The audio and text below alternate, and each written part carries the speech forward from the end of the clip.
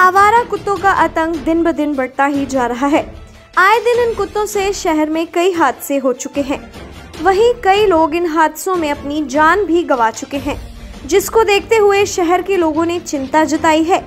इस बारे में जब शहर के लोगों से बात की गई तो उन्होंने कहा कि अक्सर रात के समय में शहर के चौराहों पर कुत्ते झुंड बनाकर बैठे रहते हैं,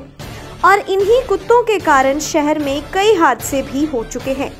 उन्होंने प्रशासन से गुहार लगाई है कि इस ओर ध्यान दिया जाए ताकि भविष्य में इन कुत्तों के कारण कोई बड़ा हादसा ना हो सके ਔਰ ਜਿਹੜੀ ਆਏ ਦਿਨ ਕੁੱਤਿਆਂ ਦੀ ਤਾਦਾਦ ਵੱਧ ਰਹੀ ਹੈ ਸ਼ਹਿਰ ਦੇ ਵਿੱਚ ਇਹ ਹਾਦਸਿਆਂ ਦਾ ਕਾਰਨ ਬਣ ਰਹੀ ਹੈ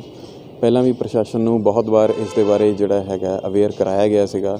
ਬਟ ਪ੍ਰਸ਼ਾਸਨ ਵੱਲੋਂ ਕੋਈ ਠੋਸ ਕਦਮ ਨਹੀਂ ਉਠਾਏ ਗਏ ਅੱਜ ਵੀ ਅਸੀਂ ਦੇਖਦੇ ਹਾਂ ਕ- ਦਲੌਜ਼ੀ ਰੋਡ ਹੋਏ ਚਾਹੇ ਲਾਈਟਾਂ ਵਾਲਾ ਚੌਂਕ ਹੋਏ ਭਾਵੇਂ ਗਾਂਧੀ ਚੌਂਕ ਹੋਏ। ਰਾਤ ਨੂੰ ਸਪੈਸ਼ਲੀ ਕੁੱਤੇ ਜਿਹੜੇ ਹੈਗੇ ਆ, ਝੁੰਡ ਬਣਾ ਕੇ ਖੜੇ ਰਹਿੰਦੇ ਆ ਐਂਡ ਉਹਦੇ ਵਿੱਚ ਹਾਦਸਿਆਂ ਦੇ ਨਾਲ ਕਈ ਵਾਰੀ ਬੰਦਿਆਂ ਨੂੰ ਜਾਨ ਦਾ ਨੁਕਸਾਨ ਵੀ ਹੁੰਦਾ ਹੈ। ਐਂਡ ਮੇਰੀ ਪ੍ਰਸ਼ਾਸਨ ਨੂੰ ਇੱਕ ਵਾਰੀ ਫਿਰ ਇਹੀ ਮੰਗ ਹੈ ਕਿ ਇਹਨਾਂ ਲਈ ਜਿਹੜਾ ਹੈਗਾ ਠੋਸ ਕਦਮ ਉਠਾਏ ਜਾਣ ਤੇ ਇਹਨਾਂ ਲਈ ਸ਼ੈਲਟਰ ਹੋਮ ਵਗੈਰਾ ਦਾ ਪ੍ਰਬੰਧ ਕੀਤਾ ਜਾਏ। ਪਠਾਨਕੋਟ ਦੇ ਵਿੱਚ ਬਹੁਤ ਇੱਦਾਂ ਦੇ ਰੋਡਸ ਆ ਜਿਹਦੇ ਵਿੱਚ ਰੋਜ਼ ਐਕਸੀਡੈਂਟ ਹੋ ਰਹੇ ਆ ਤੇ ਜਿਹੜੇ ਉਹ ਐਕਸੀਡੈਂਟ ਹੋ ਰਹੇ, ਉਹਦਾ ਕਾਰਨ ਕੀ ਹੈ ਕਿ ਜਿਹੜੇ ਸੜਕਾਂ ਤੇ ਆਵਾਰਾ ਕੁੱਤੇ ਘੁੰਮ ਰਹੇ ਆ ਜਾਂ ਆਵਾਰਾ ਜਾਨਵਰ ਘੁੰਮ ਰਹੇ ਆ, ਉਹਨਾਂ ਕਰਕੇ ਹੋ ਰਹੇ ਆ ਤੇ ਪਿੱਛੇ ਅੱਜ ਵੀ ਮੈਂ ਦੇਖ ਕੇ ਆਇਆ ਵਾਲੀਆ ਰਿਜ਼ੋਰਟ ਦੇ ਕੋਲ,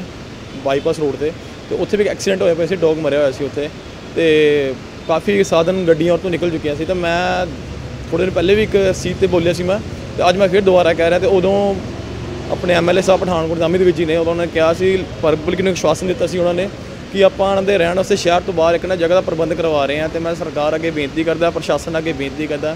ਕਿ ਥੋੜਾ ਸੋਚੋ ਤੇ ਥੋੜਾ ਜਲਦੀ ਇਸ ਚੀਜ਼ ਦਾ ਵਿਚਾਰ ਕਰਕੇ ਤਾਂ ਆਪਾਂ ਨੂੰ ਕੁੱਤਿਆਂ ਨੂੰ ਜਿਹੜੀ ਰਹਿਣ ਲਈ ਜਗ੍ਹਾ ਗਈ ਆ, ਉਹਦਾ ਕੋਈ ਕਰਵਾਈਏ